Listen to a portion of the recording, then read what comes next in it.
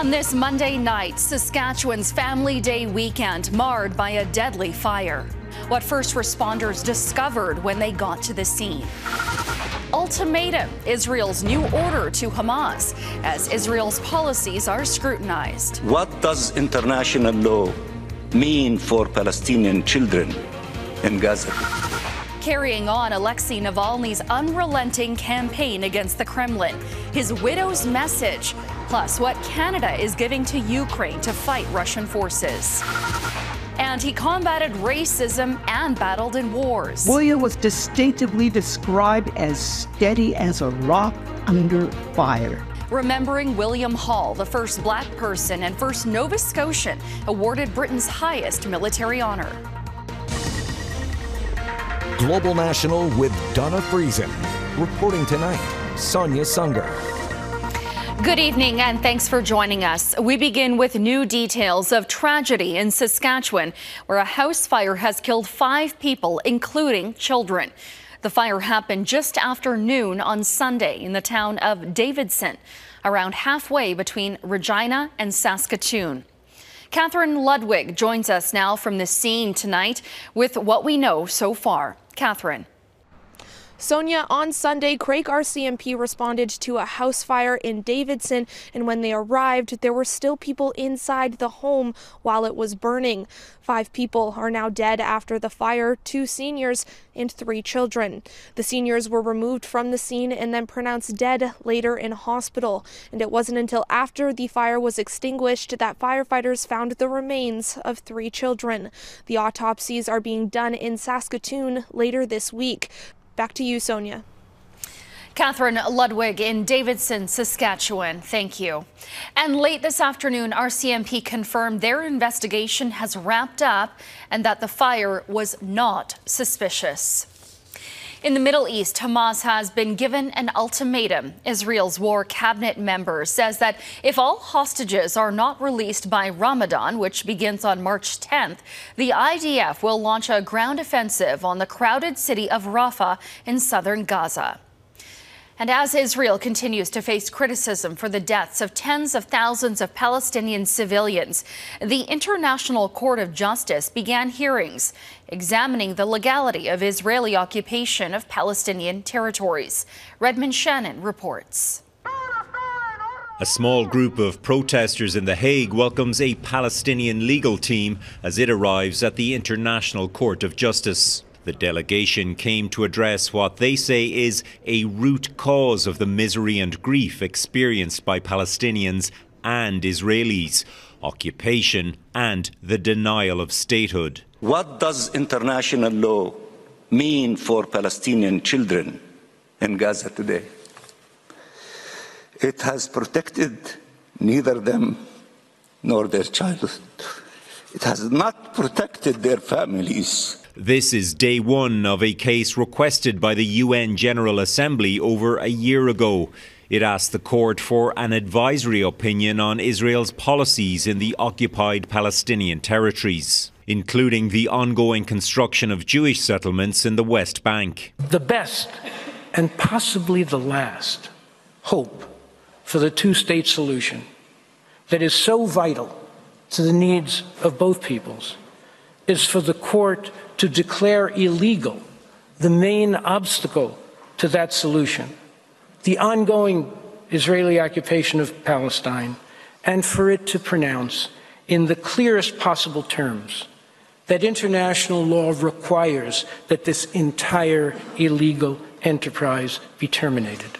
The case is separate from last month's International Court of Justice genocide case against Israel. Israeli Prime Minister Benjamin Netanyahu says he does not recognize the legitimacy of the court proceedings, which he says are an effort designed to infringe on Israel's right to defend itself against existential threats. Israel's lack of recognition is part of the reason Canada argued that the case shouldn't be going ahead. Canada was said to be among 51 other nations to present at the court this week, but Canada withdrew from the process on Monday.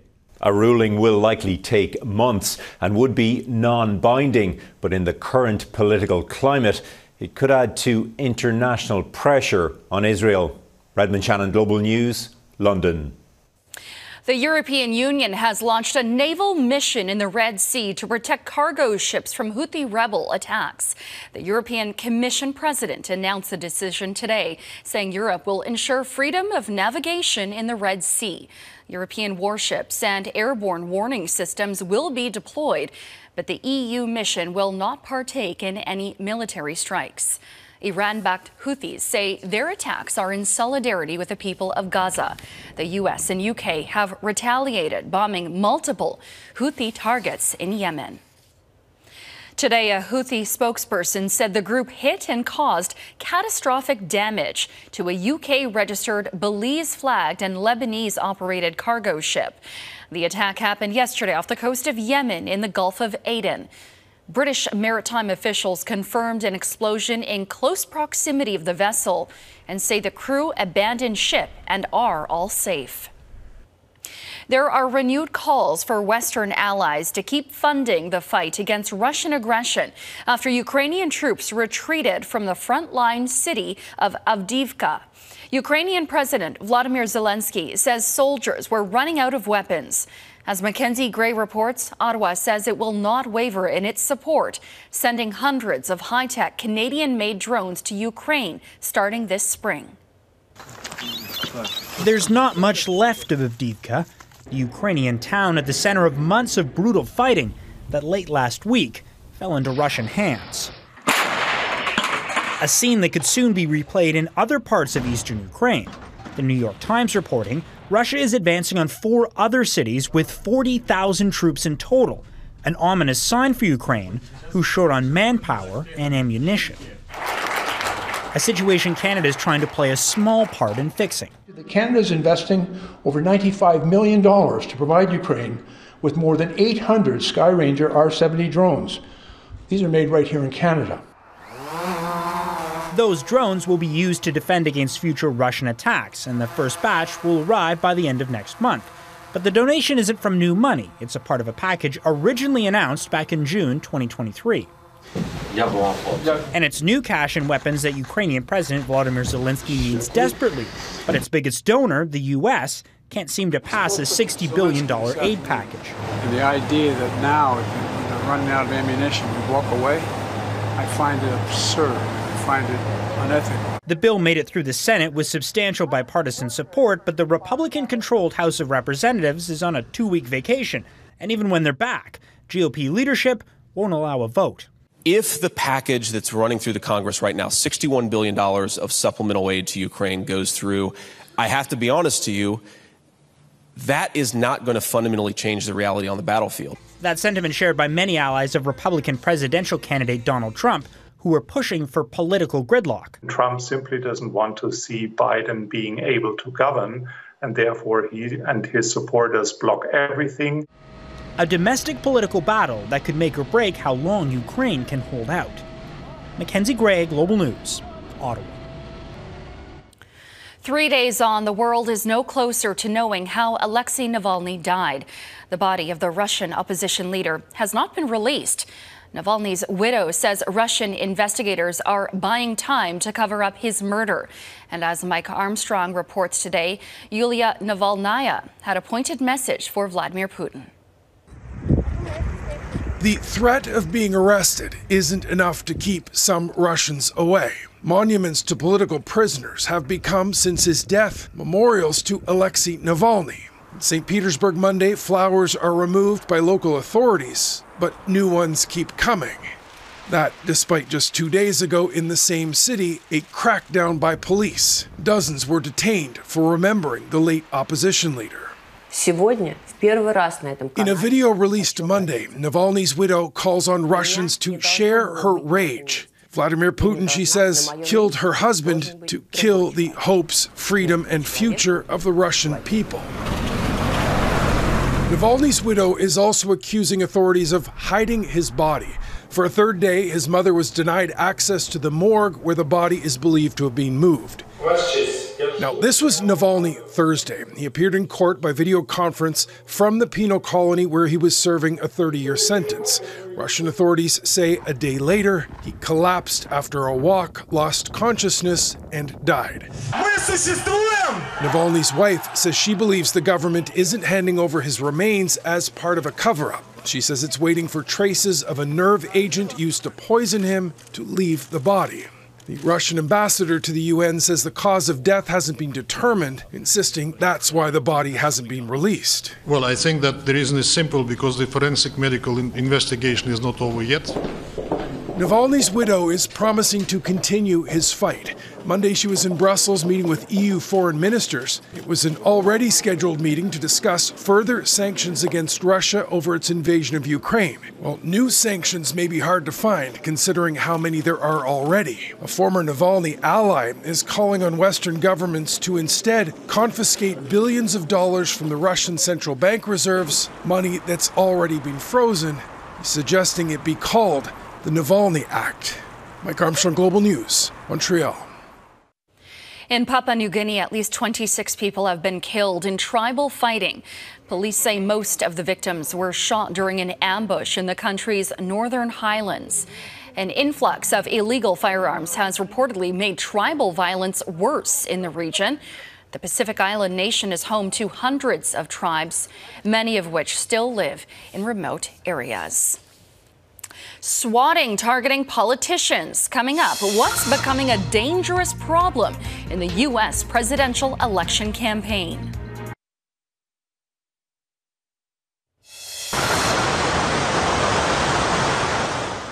Creeks are swelling in Northern California as wet weather soaks the region. Flood watches cover most of the area, and forecasters are warning of strong winds, hail, and even tornadoes. The storm is expected to move through quicker than the atmospheric river that killed nine people in Southern California earlier this month. A political storm is brewing in the U.S. There are fears the 2024 presidential election could fuel acts of violence and intimidation, which are already happening with alarming frequency. In recent weeks, dozens of politicians, judges, and political commentators have faced so called swatting attacks. Those are fake 911 calls designed to trigger a deadly police response. As Jackson Proskow reports, experts warn it could be the beginning of a dangerous dangerous trend. A security camera captured the moment police arrived with guns drawn at Rick Wilson's Florida home. I walked out on a cold and rainy, stormy night in my in my boxers and a t-shirt, had my hands up. Uh, I knew what it was. I'd been swatted. The local sheriff was responding to a fake 911 call claiming the veteran political operative killed his wife and had a weapon.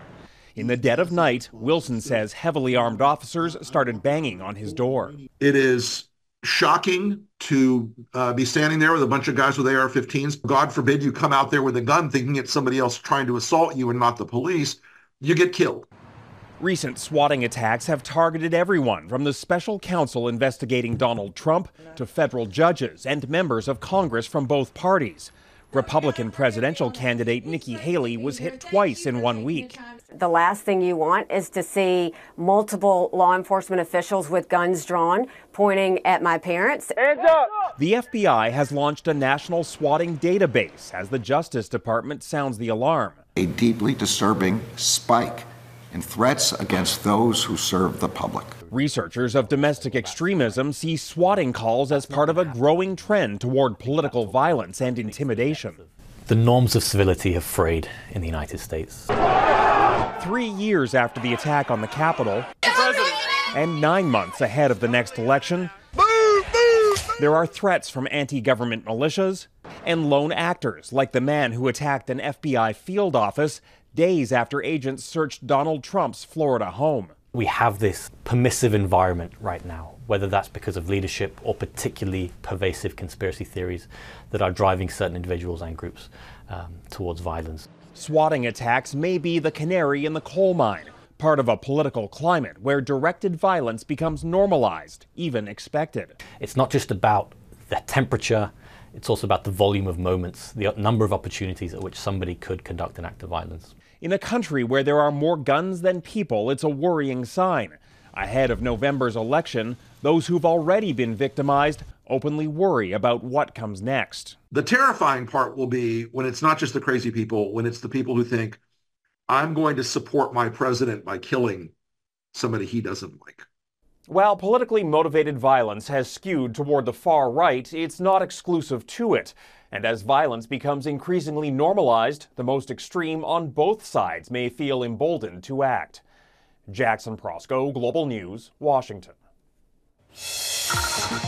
Anti Semitic hate ahead, the struggle to suppress an increase in targeted violence in this country.